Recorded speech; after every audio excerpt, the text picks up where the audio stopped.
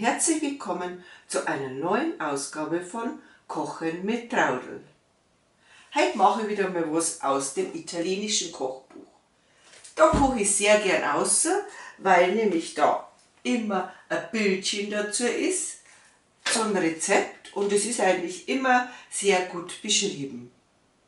Heute machen wir Penne alla Rabiata. Die gingen ganz schnell und ganz einfach. Die kann wirklich jeder nachkochen. Dazu tue ich dort, da steht dort Tomaten, ich nehme dafür Dosentomaten her. Geht dann nur ein bisschen einfacher. Und noch ein kleiner Hinweis in eigener Sache.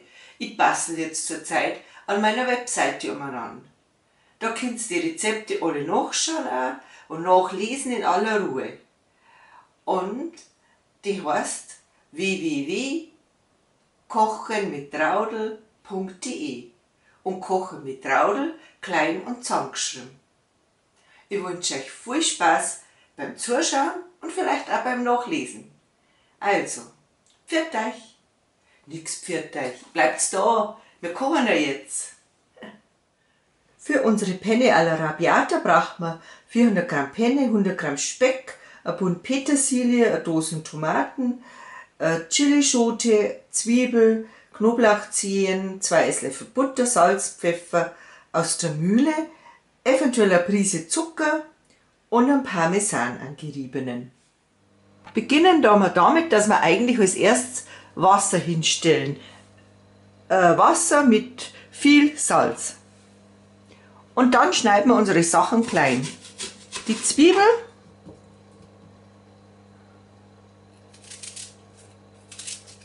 machen wir in kleine Würfelchen.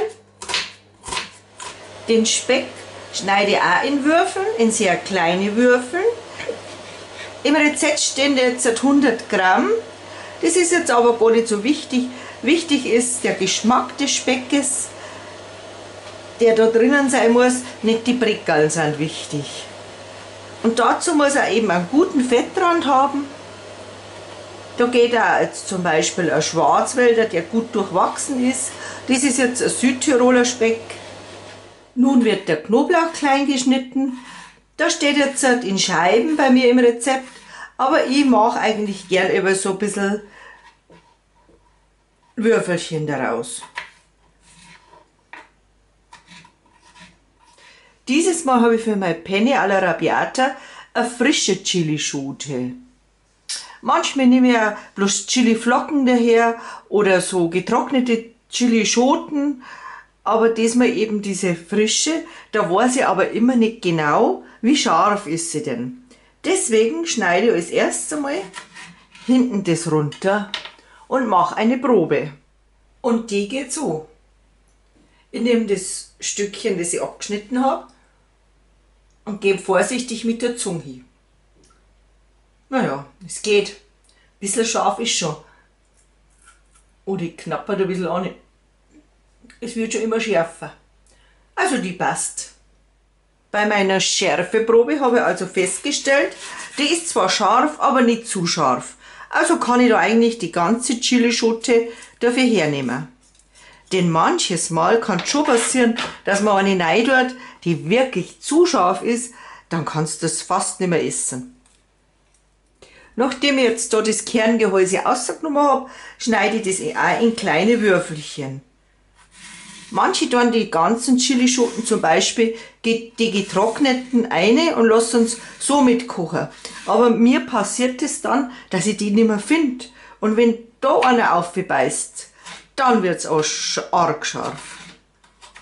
Die Schnippel, das war jetzt eigentlich das Aufwendigste vor allem. Jetzt geht das ganz schnell. Jetzt kommt ein Stückchen Butter in die Pfanne und wird heiß gemacht. Aber aufpassen, dass euch nicht verbrennt, sonst schmeckt es alles ein bisschen bitter. Wenn die Butter zerschmolzen ist, gebe ich meinen Speck dazu. Das muss wirklich nicht gleich 100 Gramm sein, sondern ich habe jetzt da vielleicht 50 Gramm oder auch 30. Wichtig ist eben, dass der Speck der Soße einen Geschmack gibt. Dann kommt die klein geschnittene Zwiebel dazu.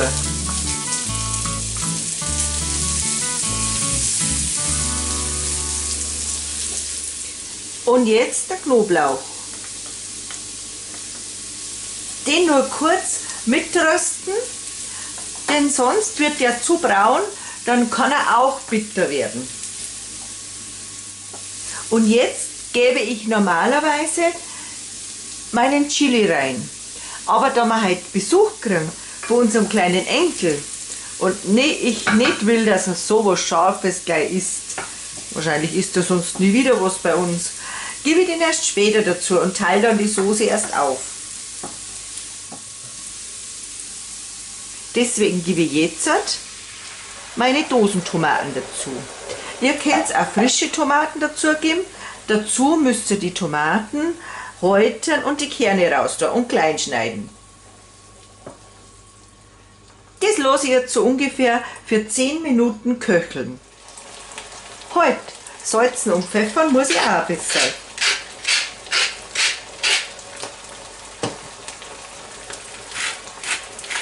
In den 10 Minuten habe ich jetzt schön Zeit, meine Nudeln zu kochen. Also ich habe jetzt eben da Penne Rigate genommen. Die brauchen normal 11 Minuten. Ich gebe es jetzt in so kochendes Salzwasser. Und die Nudeln, die sollen jetzt halt nicht ganz durch sein, also al dente sein. So ungefähr 10 Minuten koche ich es jetzt. Denn die kommen ja am Schluss nochmal in die Soße rein. Ihr könnt auch andere Nudeln hernehmen, Rigatoni oder was weiß ich, oder Fusilli. Dann heißt es halt nicht Penne alla Rabiata, sondern heißt Fusilli alla Rabiata. Vom Nudelwasser nehme ich eine Tasse voll ab. Ah, was das heißt. Denn es kann sein, äh, dass die Nudeln dann sehr viel Soße einziehen und da brauche ich das nur zum Aufgießen wir haben ja jetzt schön Zeit und deswegen schneide ich jetzt schon meine Petersilie klein. Und mein Parmesan, den kann ich auch schon reiben.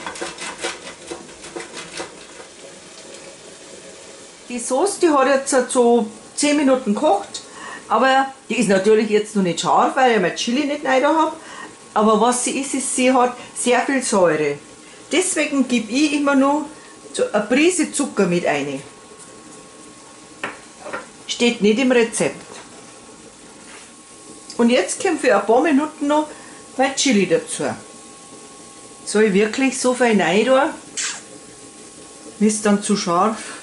Ach was, ich tue es rein. Wir haben Tapfer. Die Penne, die haben jetzt seit 10 Minuten gekocht. Jetzt probiere ich mal eine. Nicht, dass nur zu al dente sind. Dann bringe ich es auch in der Tomatensauce nicht mehr weich. Ja, die passen genau. Die kann ich jetzt abgießen und dann kommen sie in die Soße. Und die Nudeln, die kommen jetzt in unsere Tomatensauce und werden jetzt schön runtergerührt. Und wenn ihr merkt, dass die Nudeln zu viel Soße einziehen, dort ein bisschen vom Nudelwasser drüber. Jetzt gibt es noch ein bisschen Salz drüber. Zum Schluss gibt noch die Petersilie drauf.